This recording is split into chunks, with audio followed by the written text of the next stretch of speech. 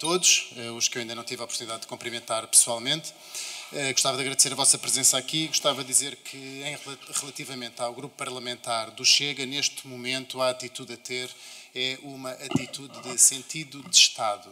De facto, neste momento em Portugal vive-se um inferno dos incêndios, novamente. Mais de 5 mil bombeiros estão a combater no nosso território. Existem mais de 100 incêndios florestais ativos.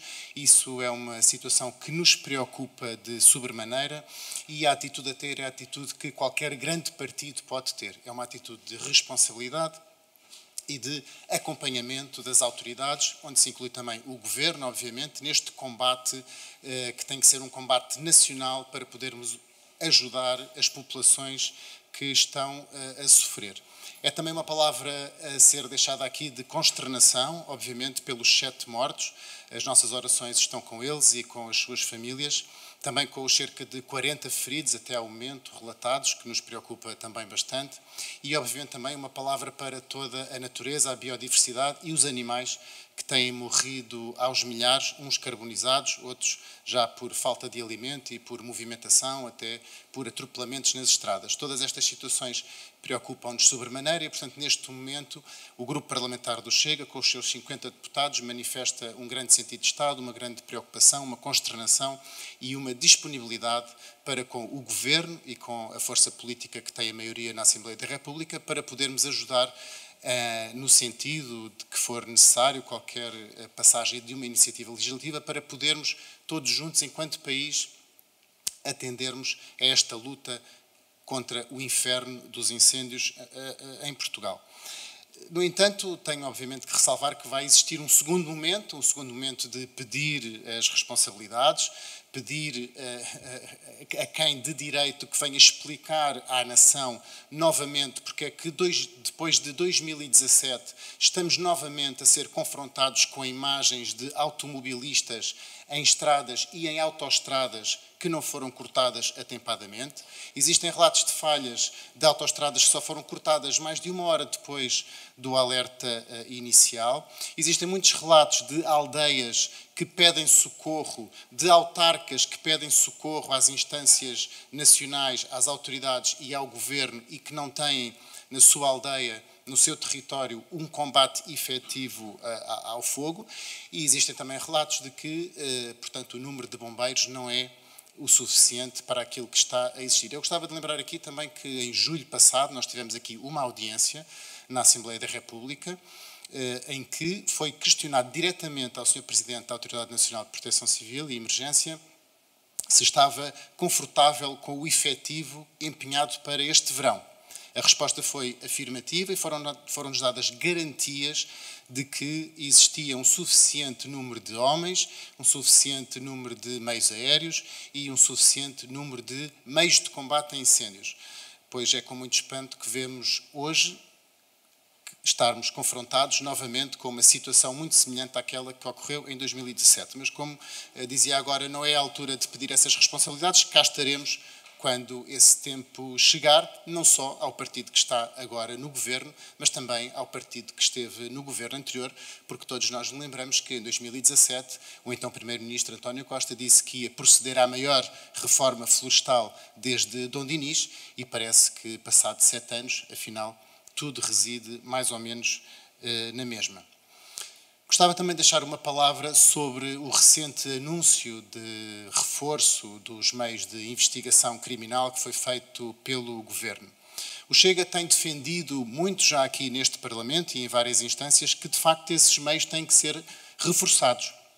Não só para o combate aos incêndios florestais, mas também em toda a linha para a criminalidade portuguesa, para a corrupção, para o, o tráfico de pessoas humanas, para a pedofilia e etc. Agora, este anúncio não pode ser singular e não ser acompanhado também de algo que o Chega defende também há muito tempo, que é, de facto, o agravamento das molduras penais para os incendiários.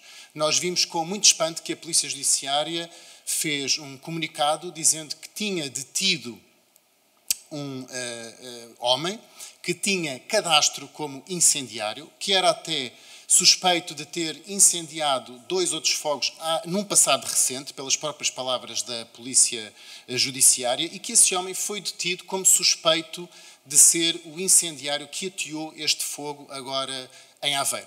Para nós é totalmente incompreensível como é que os incendiários que são do ponto de vista eh, humano, terroristas, porque aterrorizam as pessoas, aterrorizam as populações, provocam mortos, provocam feridos. Portanto, trata-se aqui de terrorismo incendiário e para nós é incompreensível como é que estes criminosos não são tratados como terroristas e, portanto, dizemos aqui ao país que é necessário começar a tratar os incendiários como terroristas. Nós já entregámos aqui no Parlamento várias iniciativas legislativas que vão nesse sentido.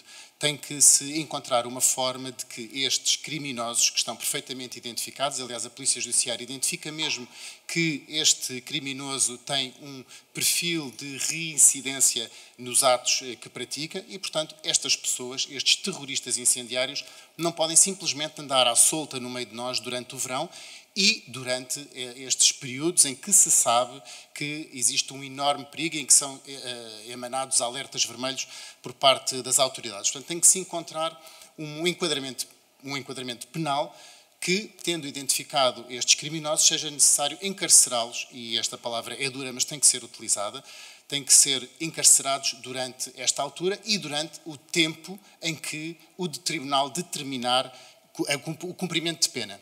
Eu acho que já chega de vermos incendiários com penas suspensas, já chega de as polícias e os órgãos de polícia criminal andarem atrás dos criminosos, identificarem os criminosos, prenderem, deterem os criminosos e depois os tribunais soltarem-nos novamente para que voltem a cometer o mesmo crime. Como lhe disse, neste momento não é eh, a altura para fazer a avaliação da resposta do governo. Nós estamos solidários com a luta nacional. O governo, tal como tem feito em muitos outros aspectos, tem uma tendência para anunciar em cima do momento e a quente algumas medidas para tentar, a meu ver, talvez apaziguar a opinião pública. É uma medida que não posso dizer que seja negativa, é uma medida positiva que o Chega já defendeu, o reforço da investigação dos órgãos de polícia criminal. No entanto, é preciso saber como é que ela é feita. E também aqui sublinhar outra coisa, é que não adianta estar a reforçar a investigação de um crime que já foi cometido se ao mesmo tempo não se fizer a prevenção desse crime. E aqui na prevenção do crime está exatamente tratar os incendiários como terroristas e, ao mesmo tempo, fazer toda a reforma florestal que o país necessita e que, pelos vistos, continua por fazer. Vários especialistas diziam à Assembleia da República em algumas audições, e isso foi referido na audição em que o Sr. Presidente da, da Autoridade Nacional de Emergência e Proteção Civil esteve cá, vários especialistas diziam que estava a, a, passar o tempo de existir um grande fogo novamente em Portugal, porque 2017 foi há sete anos e, portanto, as nossas florestas estavam a passar a janela temporal de uh, ficarem novamente explosivas com uma enorme carga de matéria orgânica e uma enorme carga combustível. Foram-nos dadas garantias de que os meios existentes em Portugal eram os suficientes para que isso não acontecesse. Infelizmente, hoje estamos aqui a discutir um inferno uh, incendiário em Portugal e é lamentável que o estejamos a fazer. Sim, agradeço-lhe muito essa pergunta, porque o Chega de facto está a avaliar passo a passo, dia a dia, hora a hora, a evolução destes acontecimentos. Neste momento temos tudo marcado, toda a nossa manifestação contra a imigração descontrolada está agendada, nós estamos a avaliar, estão todos os cenários em cima da mesa e, portanto, iremos acompanhar a situação com toda a responsabilidade, com muita preocupação e, se for necessário uh, desmobilizar, desmobilizaremos. Se houver possibilidade de continuar com a nossa manifestação, que nos parece também um tema muito importante e bastante na ordem do dia dos portugueses, bem revelador, bem revelador disso foi a sondagem que foi uh, divulgada anteontem pelo Correio da Manhã. Portanto, iremos manter a manifestação ou desmobilizar de acordo com a evolução dos acontecimentos que seguimos com muita preocupação e muita atenção. Sim, é sempre eu penso que é sempre positivo comunicar. Eh, este governo tem tido algumas falhas nesse âmbito da comunicação próxima eh, e rápida e célere com os portugueses.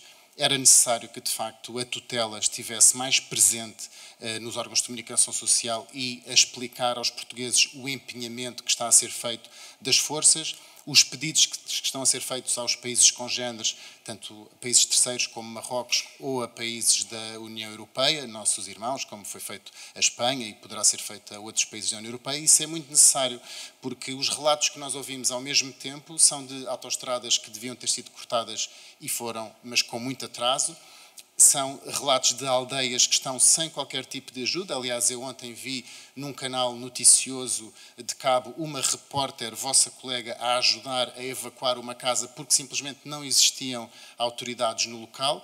Vejo também uh, estradas que deviam estar sinalizadas e com indicações das autoridades e simplesmente não existem meios suficientes para o fazer em todo o lado. E, portanto, é necessário que a tutela política venha à nação explicar o que é que está a fazer e quais são os esforços que estão a ser feitos e os meios empenhados, nem que seja para tentar tranquilizar uh, as populações. Neste momento, a atitude a ter é uma atitude de responsabilidade, de sentido de Estado e de tentar todos juntos, como nação, como país, combater este inferno dos fogos. Isso tem que ser feito. Depois virão, uh, virá a altura de pedir as devidas responsabilidades e o Chega aqui, aqui estará para o fazer com muita coragem.